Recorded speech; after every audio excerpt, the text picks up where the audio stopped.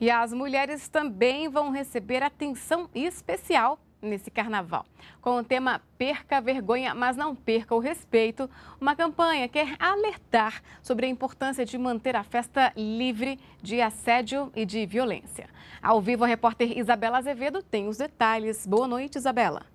Olá, Aline, boa noite a você, boa noite a todos. A campanha prevê filmes para TV, filmes para internet, mensagens nas redes sociais, além de panfletos que vão ser distribuídos nos blocos de carnaval. E sobre esse assunto eu converso agora com a Aline Yamamoto, secretária adjunta de enfrentamento à violência da Secretaria de Políticas para as Mulheres. Secretária, bom, como é que vai funcionar essa campanha? Tem alguns temas específicos, né? Eu queria que você explicasse para a gente. Boa noite. Boa noite. Essa campanha lá nasceu considerando que o carnaval tem esse clima de alegria, de diversão. É, são dias em que mulheres e homens se relacionam de forma muito intensa. Então a campanha quer reforçar esse clima de alegria, mostrando que para que haja práticas que respeitem os limites dados pelas mulheres. Então, essa campanha olha tanto é, é, os homens e mulheres para que a abordagem não seja agressiva, seja respeita, respeitadora e, ao mesmo tempo, para as mulheres, que elas possam reconhecer alguma abordagem violenta e possam é, tomar providências a respeito, como, por exemplo, ligar para o 180. É, inclusive, dicas para os homens, não é isso? Mais ou menos como é que funciona?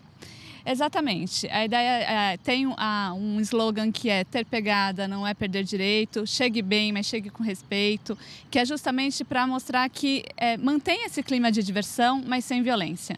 Então a gente tem muitos dados mostrando que é, as mulheres é comum sofrerem abordagens agressivas, beijos forçados, algum tipo de cantada desagradável. Então a campanha visa justamente mostrar que essa não é uma abordagem adequada, que é preciso respeitar os limites e que as mulheres devem estar atentas para isso. Essa é uma campanha que tem o apoio da Secretaria de Políticas para as Mulheres e vai funcionar, vai ser divulgada em quais uh, cidades brasileiras?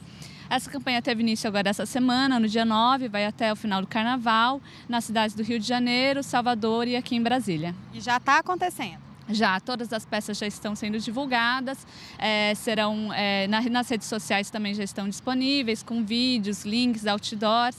Então a ideia mesmo é que as pessoas é, entrem nesse clima de diversão como um todo e respeitem as mulheres. E em caso de qualquer denúncia, ligar no 180? Exatamente. O 180 é um serviço gratuito que funciona todos os dias, 24 horas, de forma ininterrupta e que tem pessoas preparadas para informar as pessoas e encaminhar denúncias de violência. Perfeito, secretária. Muito obrigada pelas explicações. Para acessar os vídeos da campanha, tem link sobre a campanha, basta ir no site da Secretaria de Políticas para as Mulheres, que é o www.spm.gov.br. Aline.